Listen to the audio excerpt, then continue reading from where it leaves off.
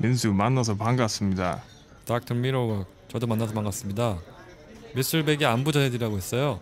그런 얘기 하는 거 보니 우리가 엄청 돈을 많이 내게 해서 그러나 보네요. 그럼 비즈니스 얘기해 볼까요? 그러죠. 우송 준비가 다 됐다는 걸 듣고 싶어하는 것 같네요.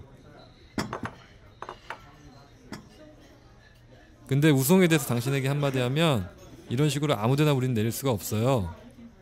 우리는 항구가 있어요. 얼마나 걸리죠? 어, 한 짧으면 3주 정도 걸릴 거예요.